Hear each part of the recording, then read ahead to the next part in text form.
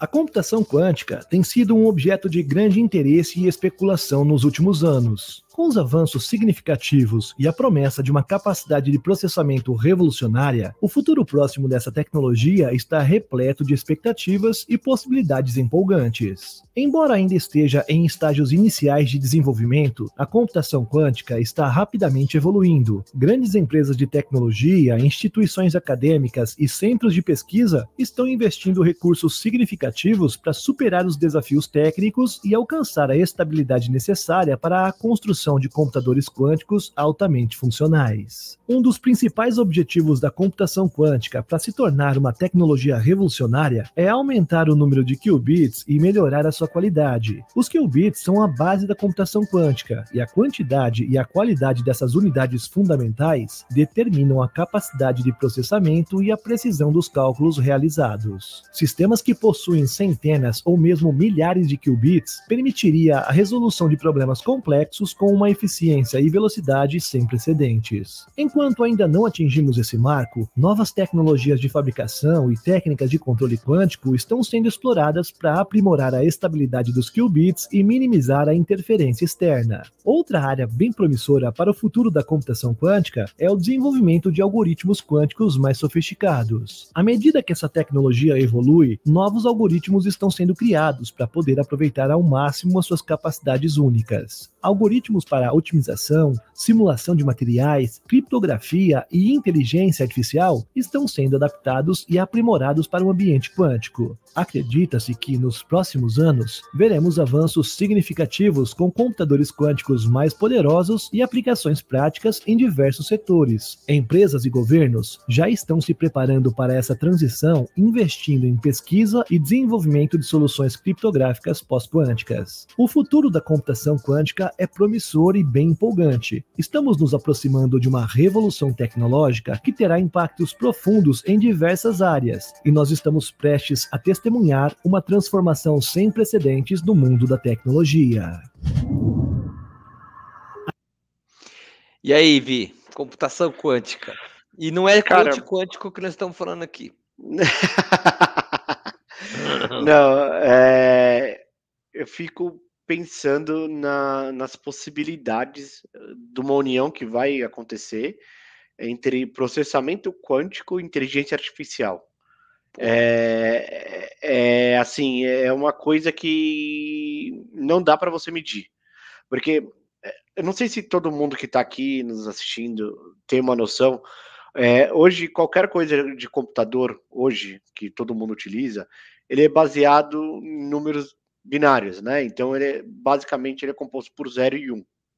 Quando você vai para uma linguagem, para um, um núcleo quântico, você está indo quebrando esse paradigma. Não é mais binário, é, se não me engano, é hexadecimal, não é? Alguma coisa assim. Muito mais. Muito mais, né? Enfim. Então aí você imagina a capacidade de processamento versus com uma inteligência artificial nisso daí. É, Cara, se tinha aquela, aquela lei lá do, já... do cara da, da Intel, isso daí não sei onde vai Já parar. foi faz tempo. Não, isso aí já era. Sim, você imagina assim, se tinha aquele negócio que dobrava sim, sim, cada. Sim. Você imagina qual que vai ser a velocidade disso com uma união entre um processamento quântico com uma inteligência artificial. É um bagulho que não consegue prever. Você. Não, até previsibilidade a gente tá tendo, mas eu entendi que, tipo, cara, que nem aquele cara que tava, a gente tava assistindo o vídeo, cara, não sei nem o que é isso, não sei descrever, né? Tipo, vai ter algumas aplicações que a gente não faz ideia. Mas veja, é, primeiro para. É, por que quântico nesse caso aqui? Ele falou em qubits e tudo mais. Mas pensa que, que já assistiu aquele filme do Homem-Formiga e a Vespa lá da Marvel, que os caras é. vão entrando num, num universo cada vez menor e tem um outro universo lá dentro. Então eles conseguiram fazer, nós conseguimos fazer tecnologia tão pequenininha que consegue ter uma capacidade computacional tão gigantesca, né? Se você pensar que os primeiros computadores eram grandes, tinha ficava em cima do rio, porque o próprio rio refrigerava a máquina, uns fusível enorme, tinha que trocar umas lâmpadas e tal. E hoje está tudo embarcado dentro dos chipzinhos que eles mostraram aí, uns quadradinhos pequenininhos e tal. Bom. Então, Moderno, isso daí consegue... não lembra isso daí não lembra os primeiros computadores? Sim. Os primeiros servidores que eram aquela. ocupavam salas inteiras gigantes. Gigante. quânticos, né? Não, não, não dá para fazer o mesmo paralelo? Que antes Sim. os computadores quânticos eram gigantes, e aí você vê eles começando a desenvolver processadores, Se e daqui a, a pouco gente... eles vão estar dentro. Se a gente tem uma máquina desse tamanho hoje, ela ainda é binária, daqui a pouco ela vai ser quântica. Então, o poder computacional que você vai ter no bolso é gigantesco. De tal maneira que, algumas implicações. As criptografias que a gente conhece hoje, todas elas vão ser quebradas por computador quântico com facilidade. Sim. Então a gente está aprimorando, ele até falou no vídeo ali que estão aprimorando as criptografias. Uma cri criptografia tradicional não consegue mais é, se, é, ter segurança. Alguns exemplos mais simples para as pessoas que não entendem muito tecnologia. A gente tem reconhecimento de voz como segurança, vai quebrar, porque um, uma coisa quântica com uma inteligência artificial de voz vai conseguir imitar a sua voz fielmente. Imagem para você fazer leitura facial. Hoje você pega num banco, um aplicativo bancário, ele quer verificar se você é você mesmo, ele faz a leitura, não tem tudo isso? Você quebra isso também. Então você tem uma série de barreiras de segurança que você acaba quebrando quando você tem um computador quântico trabalhando com inteligência artificial, seja de imagem, de voz. Agora, o que me chama a atenção, Vicente, é essas ideias das inteligências artificiais trabalhando com generativas, que é o caso do ChatGPT, você imagina se eles já devem estar experimentando, já devem ter experimentação. Qual é a capacidade que esses caras vão ter de fazer uma inteligência usando um computador quântico? É uma é. inteligência quase que divina, assim, o negócio fora da, da, A gente não tem muita noção, cara. Do... É, mas é exatamente isso que eu quis dizer, é um... assim. É, é, um mundo, né? Que nem você falou, né? O Homem-Formiga lá. Gente vai entrar em outro tipo de experiência que, cara. Uh, há, há, alguns episódios atrás, aí a gente trouxe o negócio do óculos da Apple ali. Cara, isso daí vai ficar, tipo, obsoleto perto do que tá por vir aí. Nós estamos no PlayStation 5, é isso? Isso. Então você imagina o PlayStation, sei lá, 15, para não. É. Quântico, sabe? É, com óculos, com não sei o que, fazendo uma imersão gigantesca, com, uma, com um processamento a gente vai ver, cara, dá para criar Matrix com esse negócio aqui. É.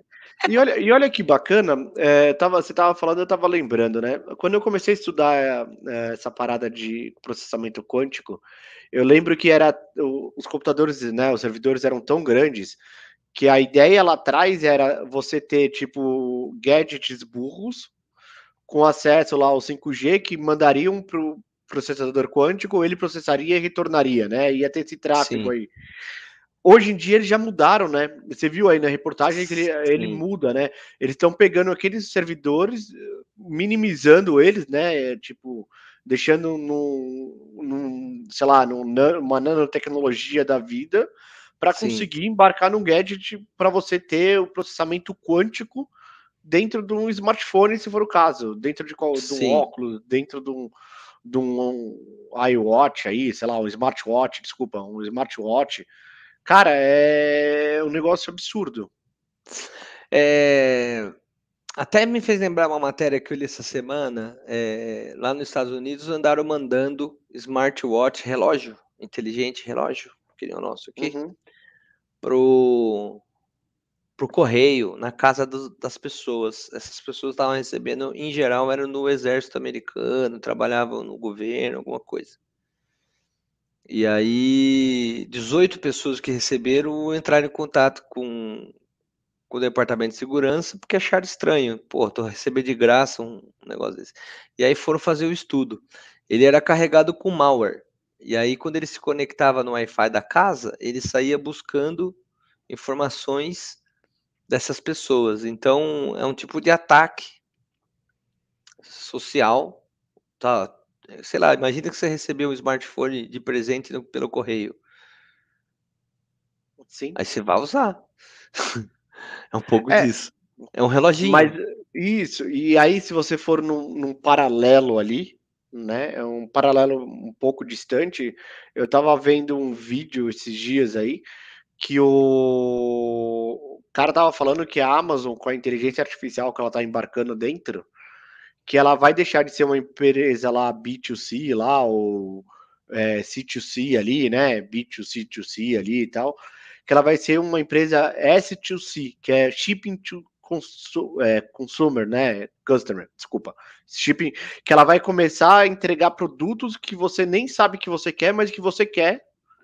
E aí vai ficar tão mais caro para você devolver o produto que você vai acabar ficando com o produto e pagando por ele. Cara, é como se entrar no mercadão, o cara te dá um pedaço de uma fruta pra você experimentar e você leva. A ideia é essa. Tipo, a ideia é essa. É tipo, tá você tá em você... casa, você tá em casa, o mercadão é a sua casa. Você recebeu lá um smartwatch. Não tô entrando no mérito do Sim. malware, entendeu? Sim, Mas, sim. tipo, a inteligência artificial viu que, sei lá, seu smartwatch já tem dois anos. Normalmente as pessoas trocam a cada dois anos. Tô dando um exemplo bem hipotético, tá? Você tá. troca a cada dois anos e aí ele vai te mandar o smartwatch, mas para você vai ficar tão mais caro lá devolver o smartwatch. Fala, tá bom, já compro porque eu tava, ia trocar mesmo, tá aqui. Inteligente. Ver se funciona. Aqui no Brasil os caras não vão devolver, ainda vão, não vão pagar, vão ficar com. e aí vem o Procon, e aí vem o Estado falando que você não pode fazer isso, que se você mandou é de graça, vai vindo. É, 1.124 Até... pessoas vendo a gente falar sobre o futuro que você vai receber coisa de graça em casa. Olha, o pessoal tá interessado. Vou passar mais uma aqui de tecnologia, tá acabando aqui o nosso episódio de hoje. Vamos passar mais uma, Vi? É, quando você associa é, um poder de computação quântica, que é muito mais poderoso, com internet das coisas. Vamos ver como é que fica.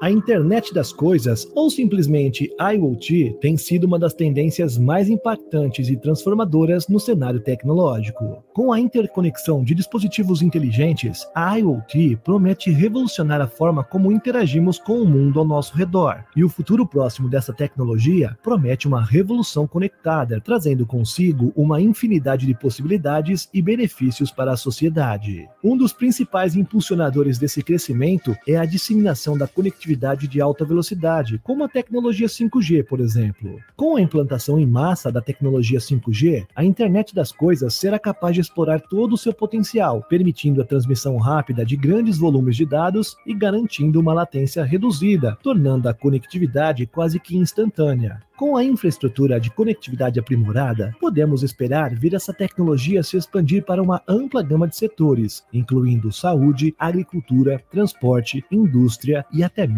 as nossas casas inteligentes. No setor de saúde, por exemplo, a IoT pode desempenhar um papel vital na monitorização remota de pacientes, permitindo que profissionais de saúde acompanhem de perto condições médicas e forneçam tratamentos personalizados com base em dados em tempo real. Na agricultura, pode ajudar a otimizar o uso de recursos, melhorar a produtividade das colheitas e permitir uma agricultura mais sustentável por meio de sensores e dispositivos conectados. Outro aspecto importante do futuro da IoT é a segurança. À medida que mais dispositivos se conectam à rede, a necessidade de proteger esses ecossistemas digitais se torna ainda mais crucial e é essencial que as empresas e os fabricantes de dispositivos invistam em medidas robustas de segurança, como criptografia de dados, autenticação multifator e atualizações regulares de firmware para garantir que a IoT permaneça confiável e segura. Além disso, o futuro da internet das coisas também será impulsionado pela integração de tecnologias emergentes como inteligência artificial e aprendizado de máquina. A combinação dessas tecnologias permitirá que os dispositivos IoT se tornem mais inteligentes e autônomos, sendo capazes de aprender e se adaptar ao ambiente em que estão inseridos. Isso abrirá novas possibilidades para automação inteligente, análise de dados avançada e tomada de decisão em tempo real, melhorando a eficiência e a precisão das operações. A internet das coisas transformou e continuará transformando a maneira como interagimos com o mundo ao nosso redor, porém em escala cada vez maior e, sem dúvidas nenhuma, moldará o futuro da tecnologia e da sociedade como a conhecemos.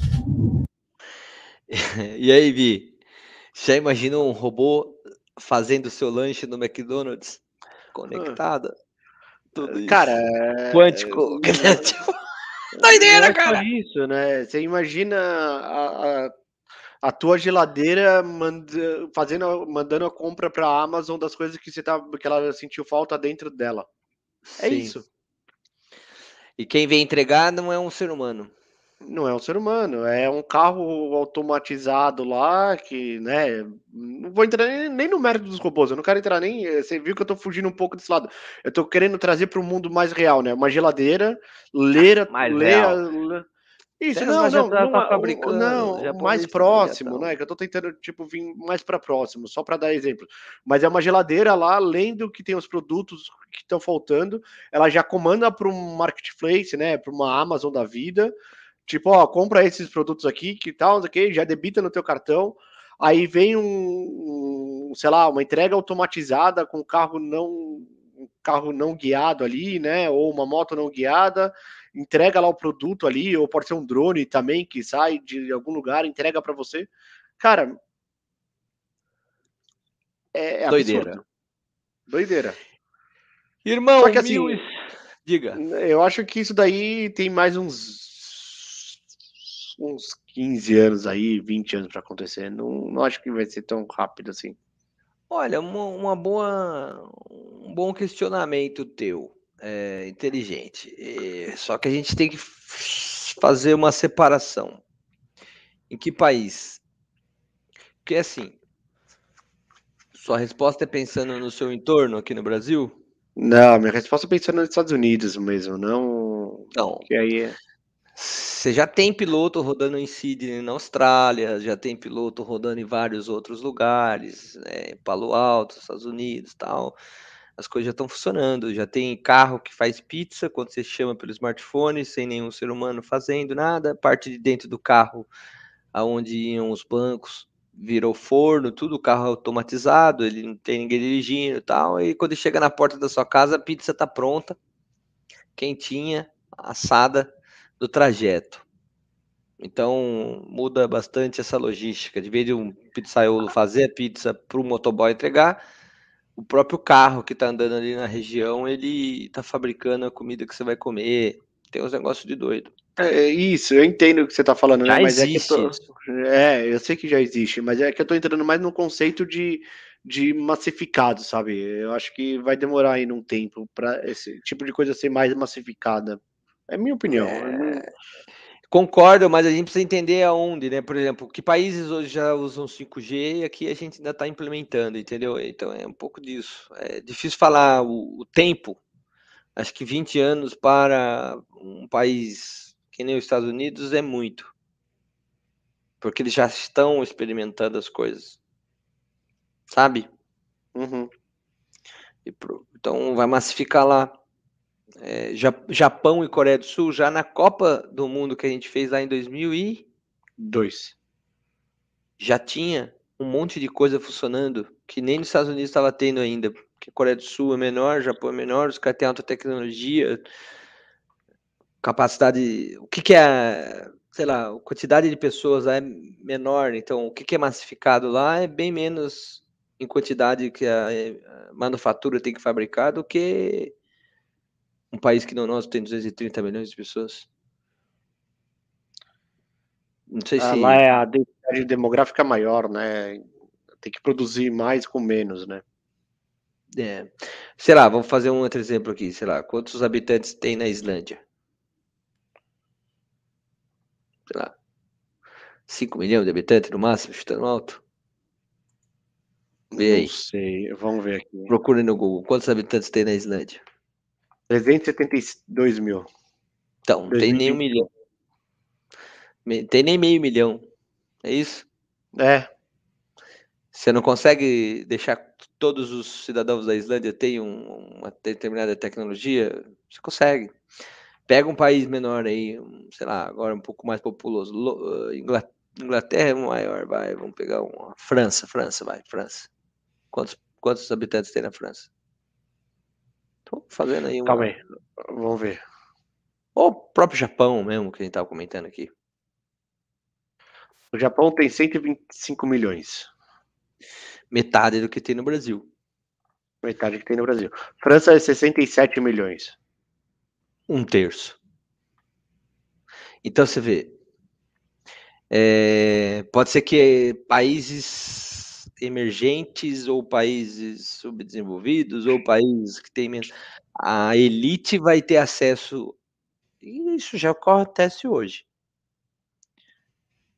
Nossa, certa... já, o Japão me surpreendeu 125 milhões, hein? Tem bastante gente, né? Por isso que é, é tudo quase, apertadinho lá. Quase uma Rússia. Rússia são 143 milhões. É, é tudo mais largo. Lá na Rússia é tudo grande, tudo espaçado. Então é um pouco disso, cara. Eu acho que vai ter, já tem. Coreia do Sul, quantos, quantos habitantes tem Coreia do Sul? Tem 40, 57, quer ver? Eu tava no gráfico ali. 57 milhões, é bem, bem fácil. Por isso que tem um monte de coisa funcionando legal na. 51 na milhões, Coreia. 51 milhões, desculpa. Aí, ó. Ele tem um equilíbrio ali, por isso que tem muita tecnologia funcionando lá, eles têm mercado K-pop lá e tudo mais, isso aqui, isso aqui.